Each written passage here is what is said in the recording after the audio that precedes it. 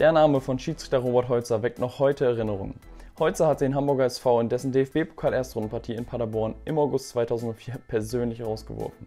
Es gab im Spiel Momente, in denen ich kurz dachte, irgendwas ist hier faul, sagte Sergei Barbares in der Rückschau im Interview mit dem Kicker.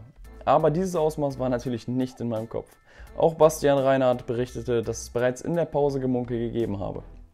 Der damals 25 Jahre alte Holzer hatte vor 15 Jahren mit zwei fragwürdigen Elfmetern und einem Platzverweis gegen den Hamburger Emil Mpenza das 4:2 des Drittligisten Paderborn ermöglicht.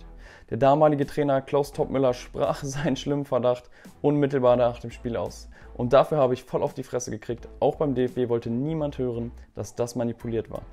Mir wurde regelrecht gedroht, mich zurückzuhalten. 500.000 Euro sowie die Einnahme von 1,5 Millionen Euro aus dem Länderspiel in Hamburg ging später als Entschädigung an den HSV. Eine Neuansetzung war ja leider nicht möglich, da die Pokalrunde ja schon weiterlief.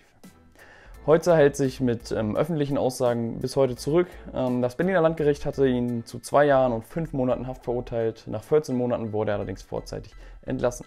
Mit dem DFB einigte er sich auf eine Strafzahlung von 126.000 Euro.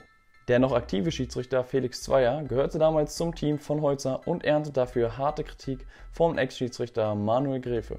Wer einmal Geld angenommen und Holzers Manipulation ein halbes Jahr verschwiegen hat, sollte kein Profifußball mehr pfeifen, sagte Gräfe erst aktuell gegenüber dem Zeitmagazin und kritisiert auch den DFB.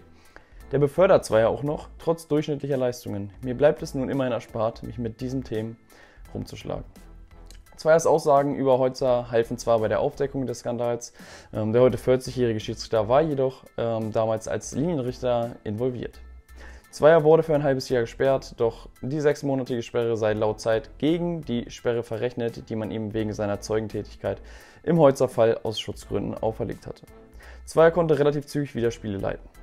Ja, das klingt alles ein bisschen nach dem heutigen Bild, was wir auch sowieso schon vom DFB haben. Äh, mich würde jetzt gerne mal interessieren, was eure Meinung dazu ist. Sollte zwar überhaupt noch Spiele pfeifen, hätte man das gleich verhindern sollen, ihn komplett sperren sollen und aus dem Spielbetrieb ähm, zurückziehen. Schreibt es uns gerne mal in die Kommentare und bis dahin wünsche ich einen schönen Restabend. Ciao, ciao.